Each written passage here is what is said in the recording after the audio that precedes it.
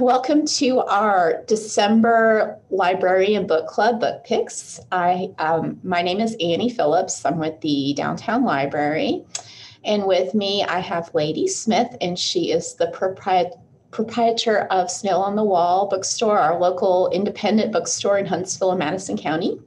And I'm going to turn the screen. I'm sharing with Amanda. She is another librarian at the Downtown Library.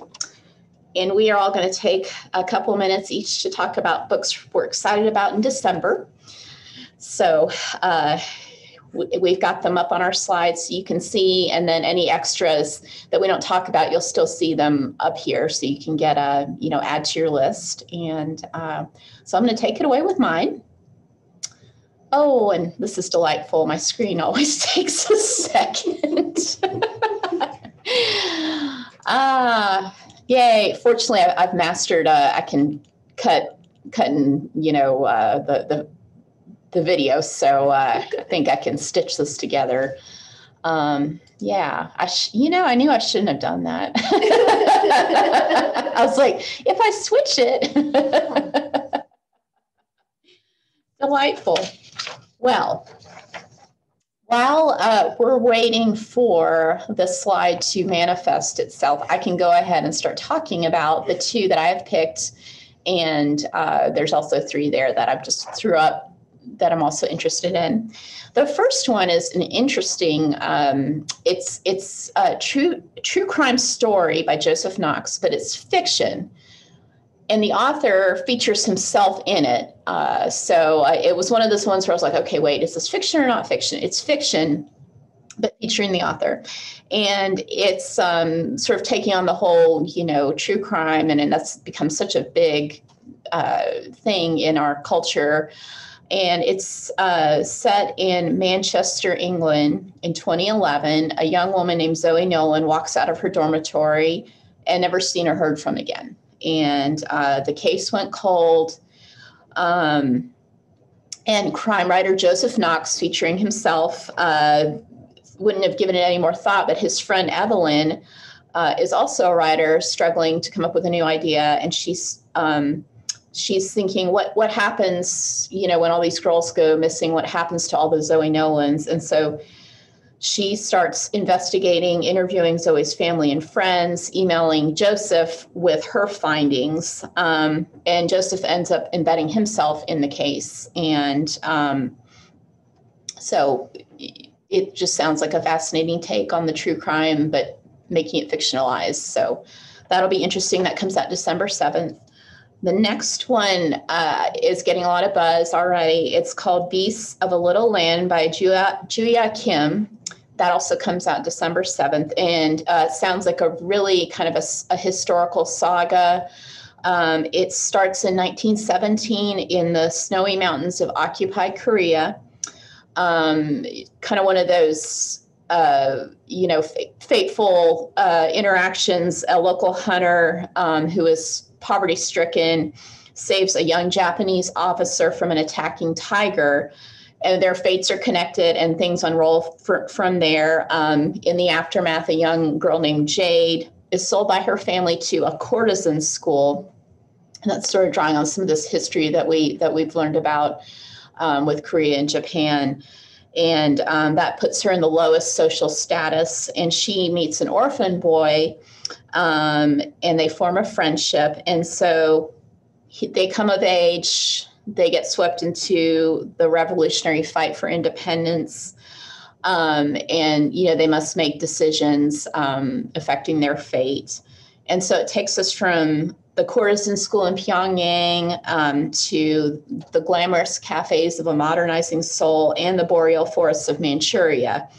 Um, it sounds just really lovely. And uh, like I said, it's gotten a lot of good buzz. So excited uh, to, to, to, read that. And I'm going to see if maybe, possibly, nope. Sir, you'll have to take my word for it. Let me see if ladies will come up. Oh, dear. Okay. Yay. All right. Right. I'm sorry. That's Amanda's. Yes, we're going to Amanda next. Excuse me. Yay, thanks, Annie. All right, to, so today for you guys, I have two nonfiction picks. You'll see that I don't have any extras today. December is a pretty uh, light publishing month, but I'm still really, really excited about these two. They're both going to be released on December 7th. So the first one is Sea State by Tabitha Lasley. It's a memoir. And this is one of those that I heard an interview with the author way early on in the year and just the published date just kept getting pushed and pushed and pushed. So i'm so excited to finally see it uh, come out to us all. Um, it is about a woman the author tabitha lasley she quits her job and moves to aberdeen scotland to start this idea of a book that she had to learn more about oil rigs and the men who live there really see what these, you know, masculine dudes, oil rig guys are like without any women around. See what that world is like. Uh, this is going to be for fans of Sally Rooney and Lisa Taddeo, of all people. And that's because this turned out to be one of those books that starts out as one thing and develops into a whole other thing. She's in this world and starts to let loose. She's in her mid 30s and has just gotten out of um, a tough relationship. And she starts falling for one of these guys. And I don't know the specifics of their relationship, but it, it turns out to be partially about this world of generations of working class men, but also an intimate por- a portrait of her own desire and experiences and personal relationships. So a really interesting blend of two different stories. And there's actually going to be um, a television show that's it's in development right now by the same people who made um, the Normal People television show. So look out for that. The next book is called The Self Care Year Reflect and Recharge with Simple Seasonal Rituals by Allison Davies. I am so excited about this one. I had to pick this one directly from my personal reading wheelhouse. I love books about self care. I love books about developing rituals. I love books about nature. So this one spoke right to me. It's one of those that you don't have to read front to back. Um, it's divided into seasonal sections. So, whatever season it is, you can flip right to that section. And it's not very in depth, it's more beautiful illustrations along with tips and tricks for how to be more present in the moment at that time of year. So you're going to find tips for better sleep and yoga positions and breathing and meditation exercises and simple craft projects. And it's for those people who are wanting to have a slower pace and really pay attention to um, the world around you. And like I said, beautiful illustrations. I got to see some samples. It's it's a lovely book just to flip through. So check out both of those nonfiction selections on December 7th. Thank you, Amanda. Those look like awesome gift books, both of them. And I'm sure that they are ones that Lady is, has available. So I'm going to turn that over to Lady. Um, and her picks. And oh dear, I hope this is. I don't know the ghost ghost in the machine. I'm not sure what's going on here. It's sort of part. Ah, oh, there we go. Okay, let me move you up so we can see all of it. So, lady, I'm going to let you talk about your books and everything that's going on with Snail on the Wall. Okay, great. Um, well, I will start with um, the Amanda Gorman collection of poetry called "Call Us What We Carry." This has been this has gone through so many changes this year. She is the, um, you know her name because she was the inaugural poet back in January, the youngest inaugural poet in history. She made a huge impression on everyone. And um, she's already had that inaugural poem released in a book called The Hill We Climb. And it's a great, we've got it in our store. It's a great little gift book. Um, and then she's had a picture book that came out in September called Change Sings. And it's a great um, picture book with pictures of her, and it's a poem about change. Um, and so this was scheduled to publish back in September. It had a different name, it had a different price, it had it was shorter, and now it just kept expanding. And they they kept they it's a good thing that they put it off because now it's a more complete collection. I haven't seen it, but I know it's going to be good. It's coming out December 7th. It's going to be a big holiday book. Would make a great bundle to kind of bundle all three. But she deals with history and identity and race and even the pandemic. And so it's just poetry of today um, and by a young person that I think is just someone that um, we're going to hear a lot from for many years to come. So we're excited about that one. And then um, publishing at the end of December, just in time for the new year and everyone's New Year's resolutions.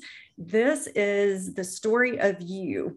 Ian Morgan Cron is um, well known as an, the Enneagram um, kind of expert. He wrote um, The Road Back to You, that a lot of people have relied on for Enneagram advice. If you don't know about the Enneagram, I encourage you to learn about it. It is the it's sort of personality types on a scale of one to nine.